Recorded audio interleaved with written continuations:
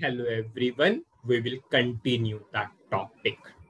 In the previous video, we called the GUI upload function module through pattern button. Now we will pass the path of the file. We will pass the file name. And what is our file name? In which particular parameter we have the file name? P underscore file. So we are passing it to file name. Now, when we prepared a file, I told you what is the separator in our file. It is tab, tab. Now we have a parameter here has field separator.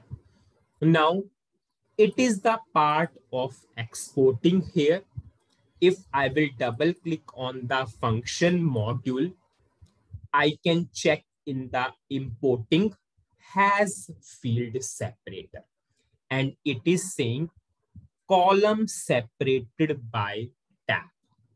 By default, the value of this parameter is space.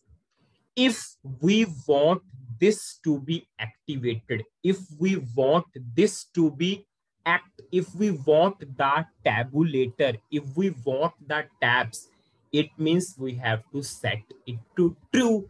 And we all know if we want to set it to true the value will be capital x. Currently the value is space. It means has field separator is false as of now. It will not take tabs. But once we will pass this parameter to capital x capital X means true. So it will take the tabs. And what is our separator between each and every column?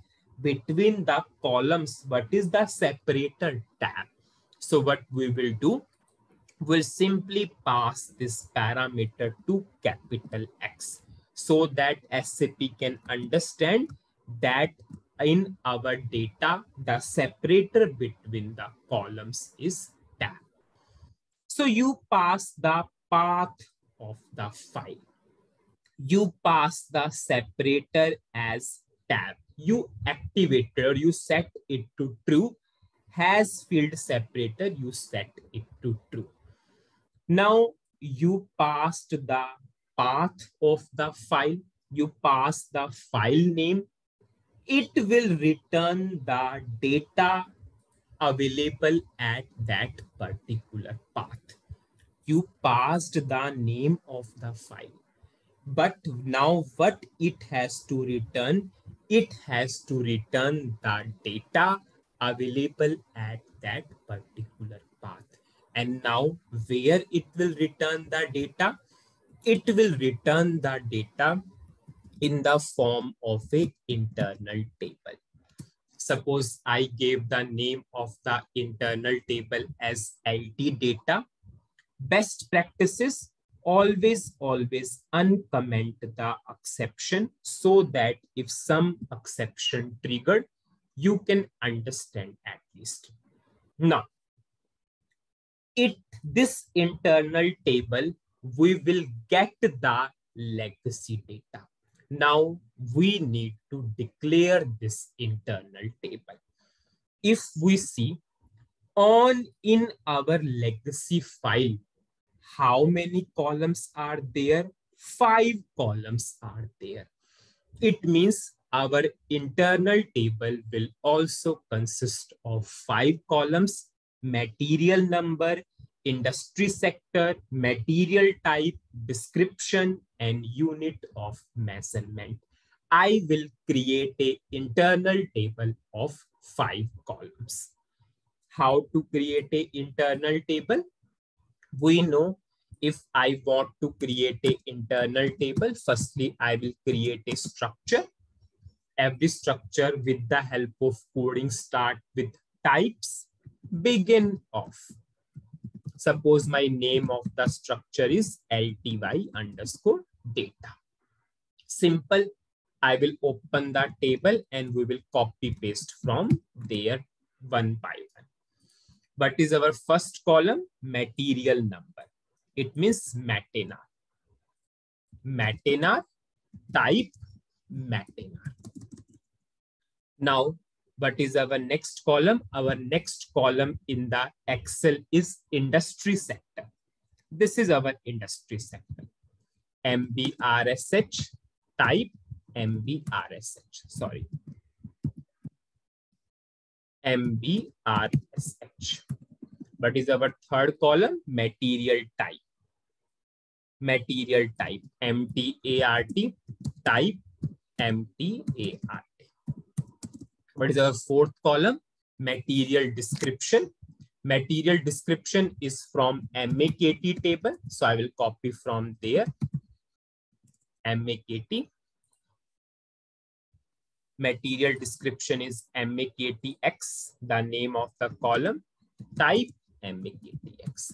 Now, what is our last column? Unit of measurement. What is unit of measurement? MEINS. MEINS. Type MEINS. So we declared a structure of five columns. Now I will declare the internal table and work area. LT underscore data type table of LTY underscore data ls underscore data I my internal table and now I will declare the work area.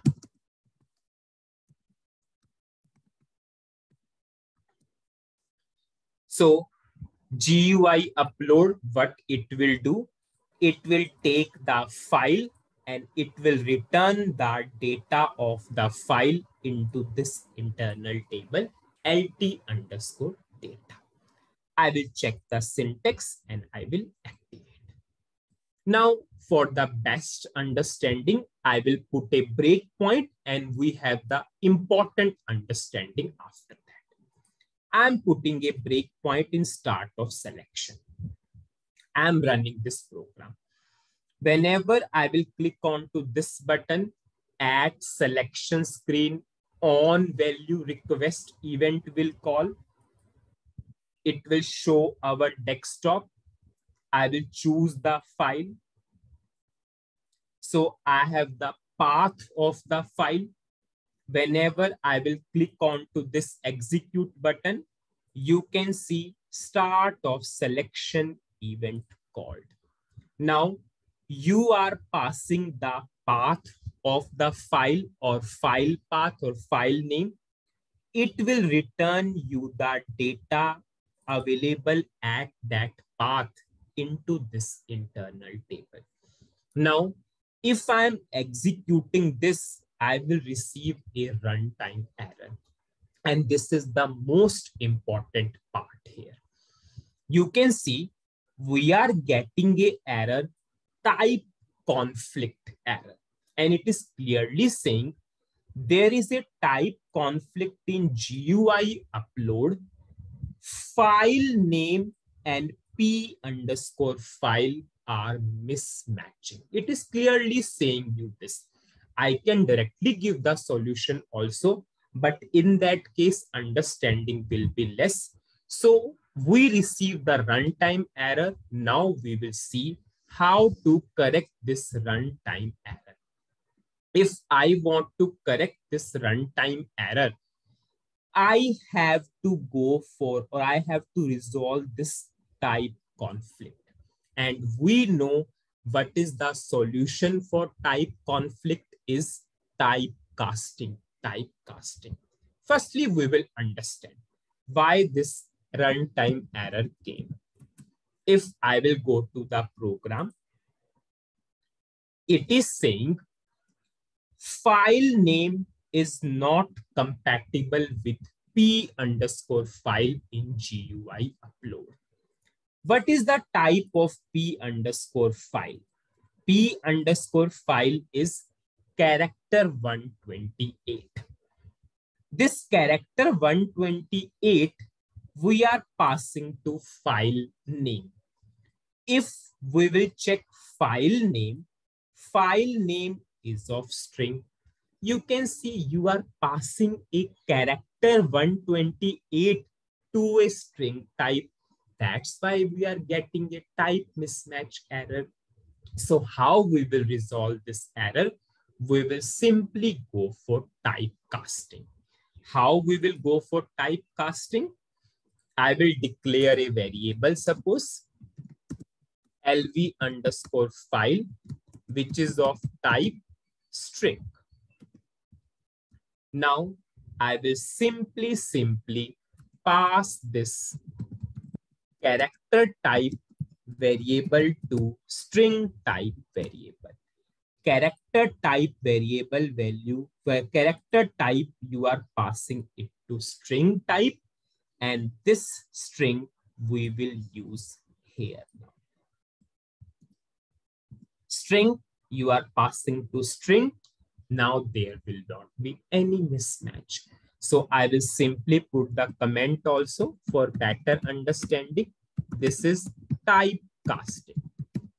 Or the best word, if we can say this is explicit typecasting because you declared a variable explicitly to do the typecasting.